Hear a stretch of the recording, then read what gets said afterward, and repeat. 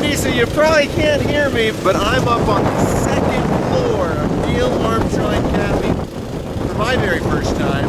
Pretty exciting to see. It's cold, windy.